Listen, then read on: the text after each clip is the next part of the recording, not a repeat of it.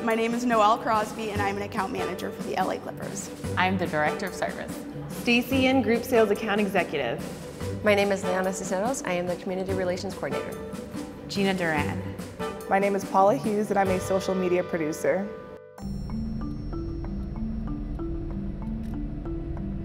My name is Priscilla Martinez. I'm the Clippers team chef. I'm in around 5.30.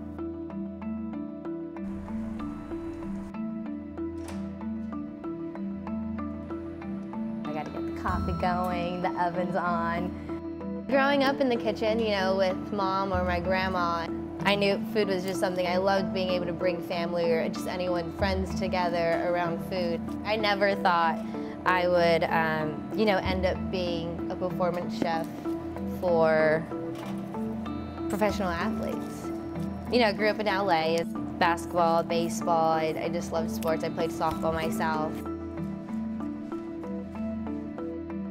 It was hard at the beginning, stepping into a male-dominant industry, because I was easily discouraged and told, like, you know, it's going to be difficult, like, you're a young lady, and, you know, it's very male-dominant, and easily just, little by little, it, everyone had a comment to say of, are you sure you want to go to culinary school? Are you sure you want to join this class? Are you sure you want to do this? And, you know, my mother always just told me, like, that's where, you know, that's your goal, that's your dream, then follow through with it and don't let it uh, really affect you.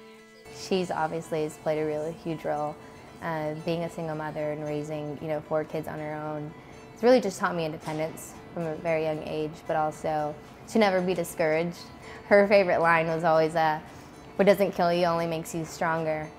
And um, before I left for college, she was actually diagnosed with an autoimmune disease, uncurable still to this day, and it's gotten worse over the last seven, eight years. And um, her positive attitude, you know, when I'd come home for the holidays and I could just see it deteriorating her body, um, she never once, you know, gave up. Just my number one supporter. If I, I, wanted to do something and it seemed, you know, crazy, like working for an NBA team, you know, she's like, you can do it, I believe it.